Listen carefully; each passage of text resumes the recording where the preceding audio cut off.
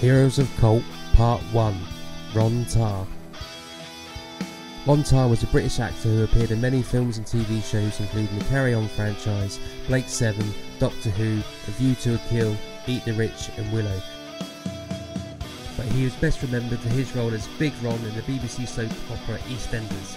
This was a role which he played from the show's inception in 1985 through to his death in October 1997.